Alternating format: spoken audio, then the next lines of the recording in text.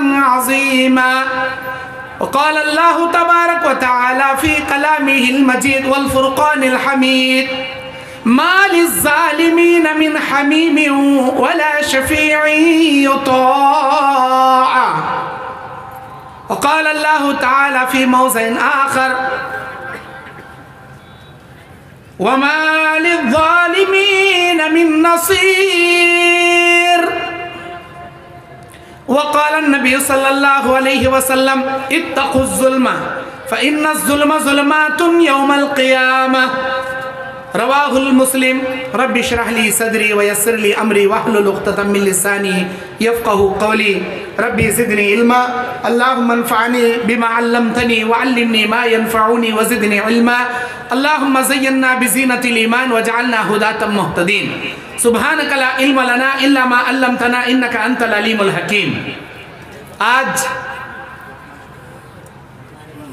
झारखंड की सरजमीन में गुड्डा ज़िला जो ललमिटिया और नीमा कला के इस कस्बे और गाँव में जामिया नूरुल हुदा असल्फिया व खतीजा बिनते कुवैल लिलबनात के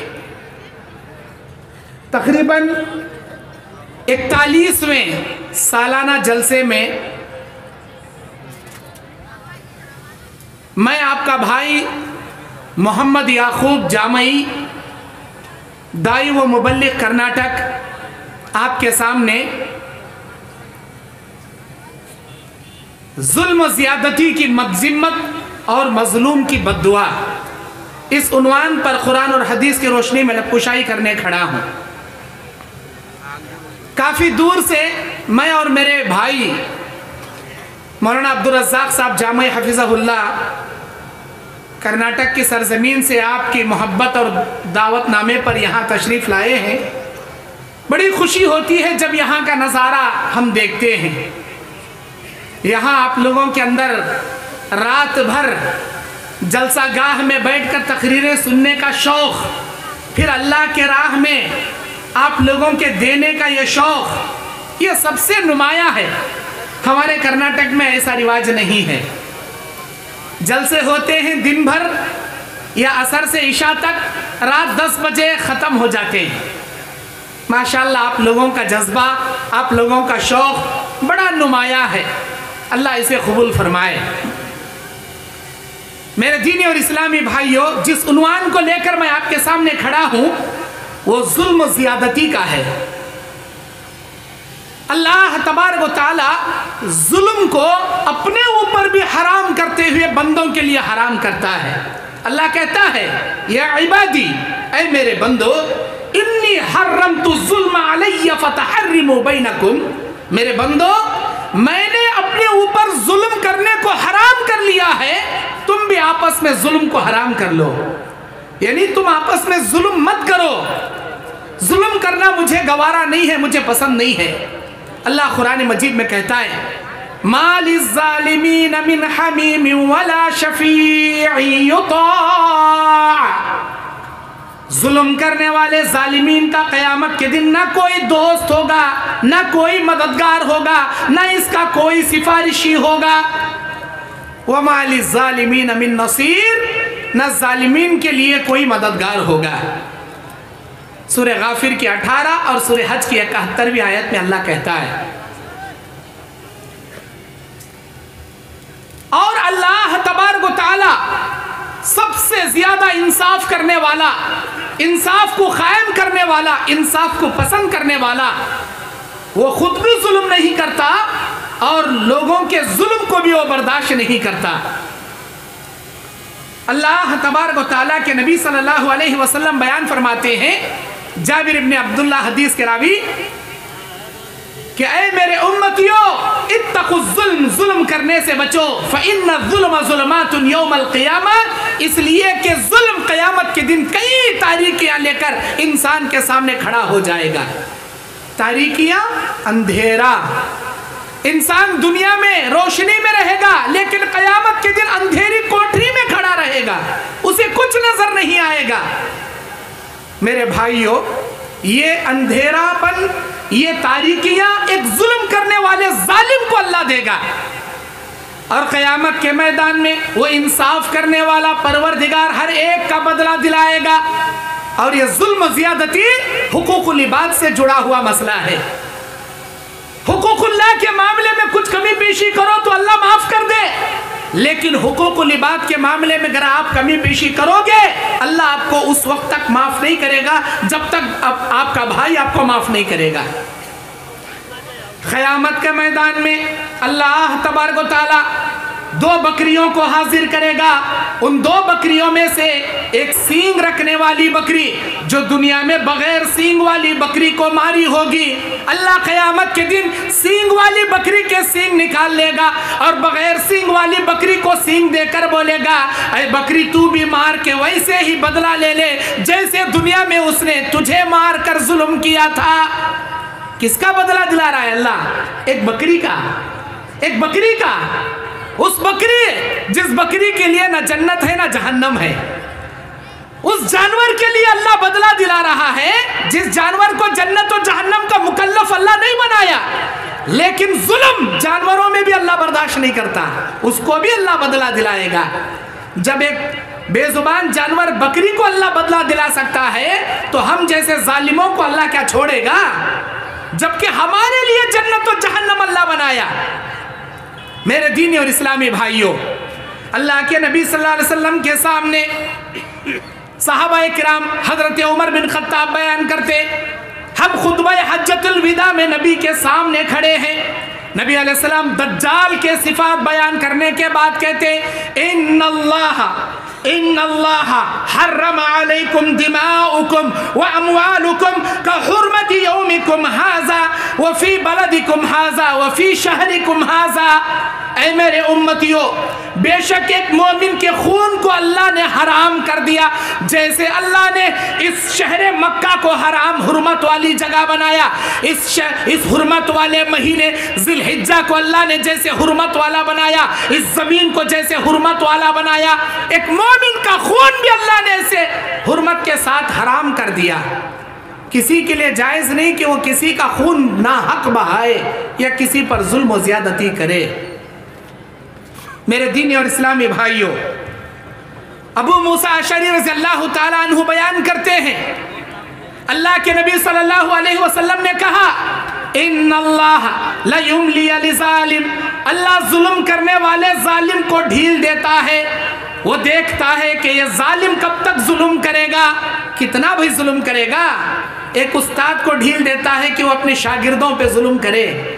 एक आका को, एक मालिक को ढील देता है कि वो अपने नौकर चाकरों गुलामों पे जुल्म करे। एक रियाया के हाकिम को ढील देता है कि वो अपने मातहत में रहने वाले रियाया पे जुल्म करे। और एक अमीर को, और एक जमात को, जमीयत के जिम्मेदार को, और एक घर के सरपरस्त को, हर किसी को अल्लाह जुल्म देता है, किसी सास को जुल्म देता है कि वो अपने बहू पे जुल्म करे। लेकिन याद रखे, जब जुल्म करने वाला जालिम हद से आगे बढ़ता है फ़ैज़ा अकज़त हुलम युफलित हो जब अल्लाह की कुदरत इसे पकड़ती है तो इसे कोई नहीं छुड़ा सकता। अल्लाह की ताकत से कोई नहीं बचा सकता। फ़ैज़ा अकज़हु अकज़ल कुरा, वहिया ज़ालिमतुन। जैसे कि अल्लाह ने उन बस्ती वालों को पकड़ा, जो बहुत ही बड़े जालिम थे। इन्ना अलीम शदीद। बेशक उस अल्लाह की पकड़ बड़ी सख्त होती है। मेरे दीनी और इस्लामी भाइयों सुर यासीन में इसका ज़िक्र अल्लाह करता है। वजरिब लहुम मसलन असहाबल करियति इज़ जाअल मुरसलून। क्या तुम्हें मालूम नहीं? अरे मेरे नबी, इनके सामने उन बस्ती वालों की मिसाल बयान करो। जब बस्ती में एक नबी, अल्लाह का नबी बनकर आया, अल्लाह के दीन की दावत का काम करने लगा। लोगों ने उसे मारा और अपने पैरों तले, जानवरों के पैरों तले उसे रोना शुरू किया। उसी वक्त अल्लाह बस्ती के किनारे एक और एक शख्स को नबूवत दिया और वो भी नबी अल्लाह के इन बस्ती वालों के सामने आकर कहता है, लोगो, उस आदमी पर क्यों जुल्म करते हो? छोड़ो, वो अपनी दावत पर तुमसे रोजी रोटी नहीं माँगता। वो तुम्हारे आखिरत की फ़िक्र करते हुए कहता है, एक अल्लाह का ऐलान करो, कामयाब हो जाओगे। उसकी बात पसंद आए तो कबूल करो, ना पसंद आए तो छोड़ दो। जुल्म क्यों करते हो? ये भी उसकी जैसी बातें करता है। चलो इसे भी मारते हैं। उन्होंने पहले नबी पर जुल्म कर रहे थे। जैसे ही एक दूसरे नबी आकर उनको समझाए, दूसरे नबी पर भी जुल्म करना शुरू किया, अल्लाह की कुदरत ने इन बस्ती वालों को पकड़ लिया। आसमान से चीख आई। अल्लाह ज़मीन को फाड़ कर सारी बस्ती वालों को ज़मीन में धंसा दिया। मेरे भाइयों, किसी भी जालिम के जुल्म को अल्लाह एक हद तक बर्दाश्त करता है, ढील देता है। जब वो हद से आगे बढ़ता है, अल्लाह की कुदरत उसे पकड़ लेती है। आज हम ताकतवर हैं, हम अपने कमज़ोरों पर जुल्म कर रहे हैं, ये ना समझे कि हम ताकतवर हैं। हर ताकतवर से बड़ा एक ताकतवर को अल्लाह इसी दुनिया में पैदा किया। और सारी दुनिया पर जुल्म करने वाले जालिम हाकिम या मालिक या बादशाह, जालिम बादशाह के लिए सारी दुनिया की ताकत से बढ़कर अल्लाह जल्ला की ताकत है। ला हौला वला कुव्वता इल्ला बिल्लाह। अल्लाह जल्ला की ताकत के सामने किसी की ताकत काम नहीं करती। वह सारे ताकतों से सबसे बड़ी कुवत रखने वाला है। सारे दुनिया वालों पर सबसे बड़ी कुदरत रखने वाला कादिर मुतलक है। अल्लाह के नबी सल्लल्लाहु अलैहि वसल्लम बुखारी मुस्लिम की रिवायत, हज़रत माज जबल को यमन का गवर्नर बनाकर भेज रहे नबी सलाम माज इब्ने जबल से कहते अय माज, तुम अहले किताब की जानब जा रहे हो। उनको तोहीद की दावत देना, नमाज़ का हुक्म देना, रोज़ों के बारे में बताना, जक़ात के बारे में बताना। फला फला, सारी चीज़ें समझा कर जब जा रहे थे महाज इबन जबल, नबी ने आखिर में कहा, या महाज व तकी दावत मजलूम। अय महाज मजलूम की बदुआ से बचना। फ़िन नहू बैन बैन अल्लाह वलैसा हिजाब। इसलिए कि अल्लाह के और बंदे के दरमियान मजलूम की बदुआ और अल्लाह के दरमियान कोई पर्दा नहीं होता।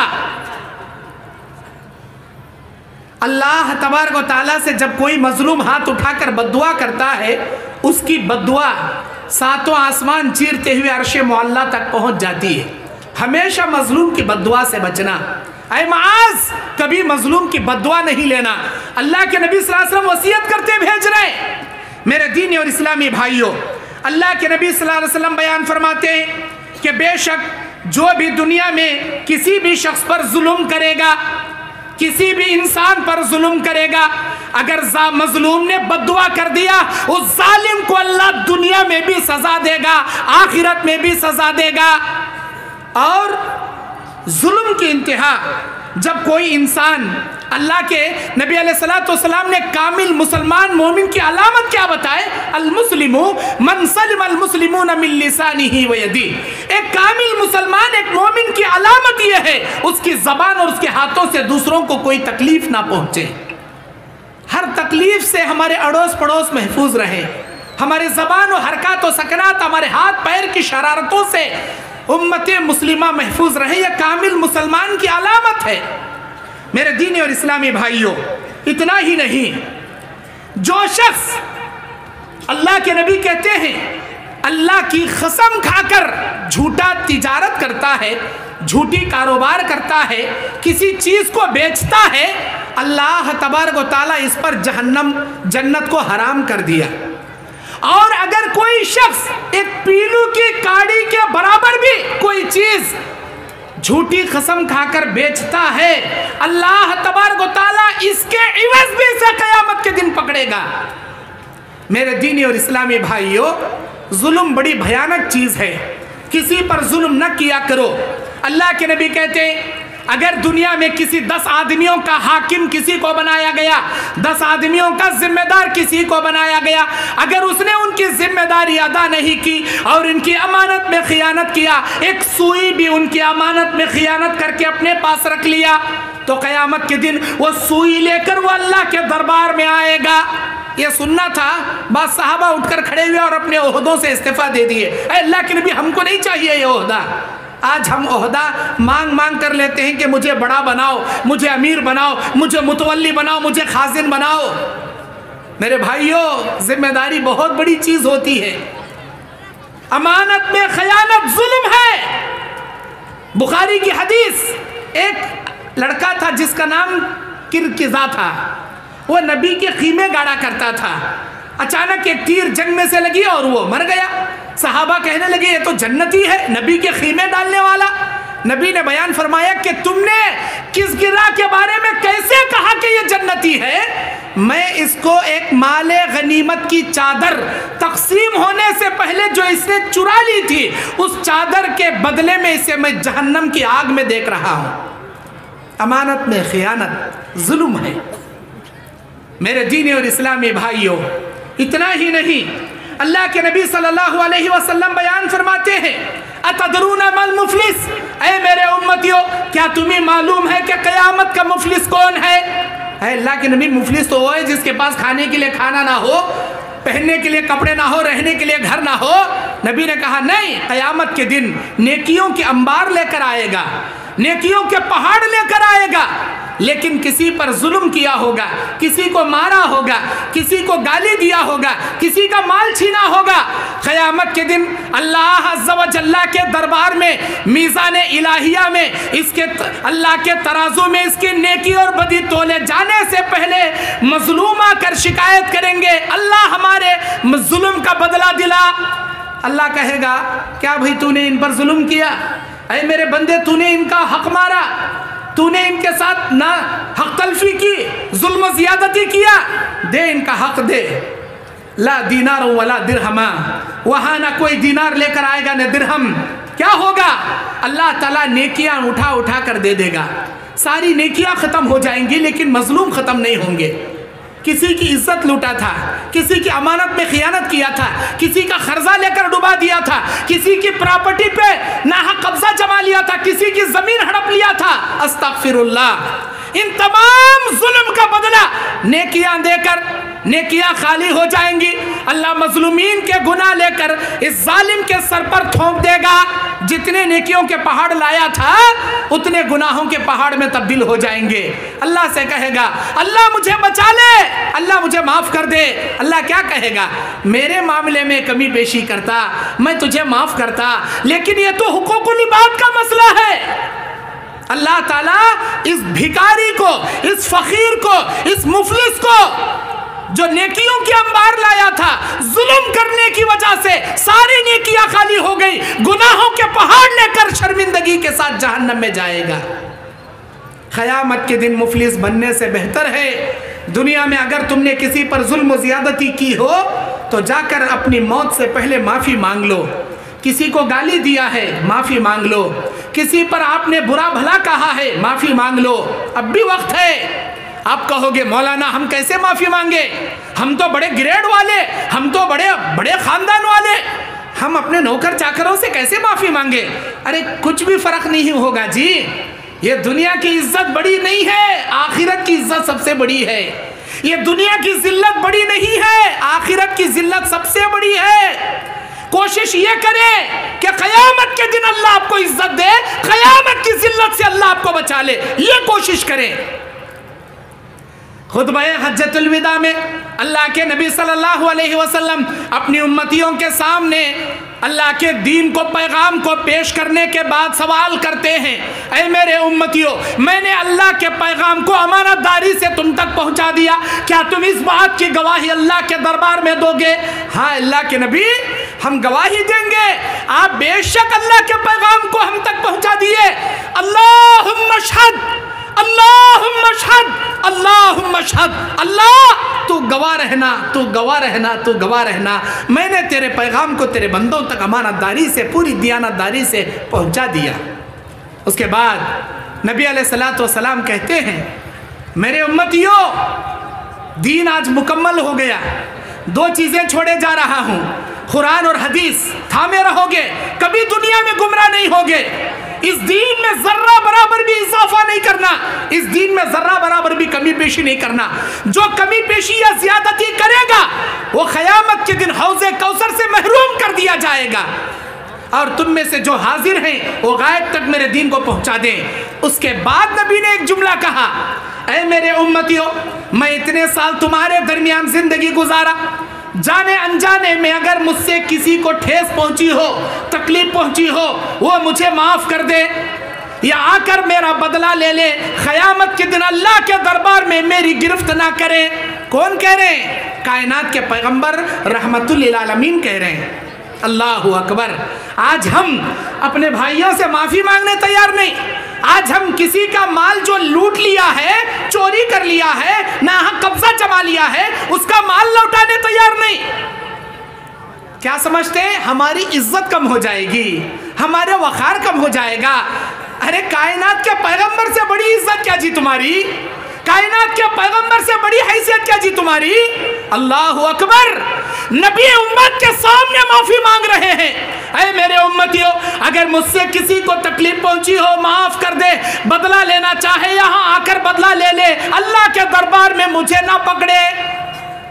सारे सहाबा अश्कबार हैं, आँखें अश्कबार हैं। एक सहाबी उठे, अब्दुल्ला इब्ने अतीक उनका नाम। वो बोले, अल्लाह के नबी, आपने एक मरतबा मुझे मारा था, मैं भी आपको मार के बदला लूँगा।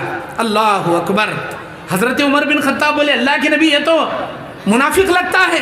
आप इजाज़त दीजिए, मैं अपनी तलवार से इसकी गर्दन उड़ा दूँगा। नबी ने कहा, नहीं, इसे आने दीजिए।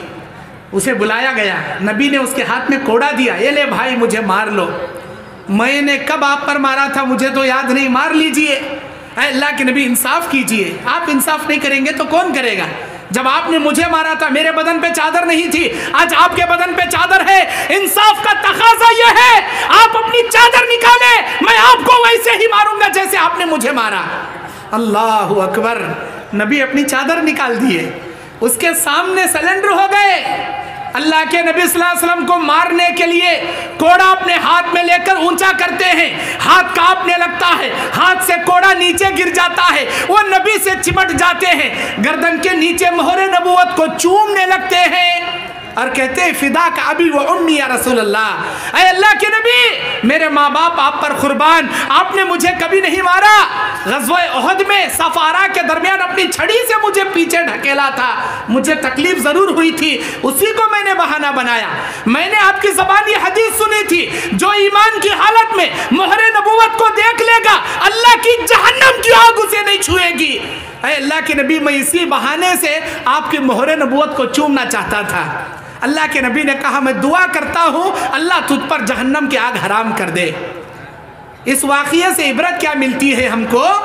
कायनात के पैगंबर अवामुन्नास के सामने, उम्मत मोहम्मदिया के सामने एक माफ़ी मांग सकते हैं, जबकि वो किसी पर जुल्म नहीं करने वाले, हर किसी पर रहम करने वाले, जालिमों से जुल्म लेकर, दुश्मनों से मार खाकर बदुआ दिए बिना दुआएँ देने वाले। अल्लाह अकबर। ऐसे रहमतुल्लिल आलमीन अपनी आम उम्मत के सामने माफ़ी मांग सकते हैं तो हम क्यों नहीं जी मांग सकते? हम क्यों नहीं मांग सकते माफ़ी? कौन सा पोजीशन घट जाएगा हमारा? कौन सी हैसियत घट जाएगी हमारी? मेरे दीन और इस्लामी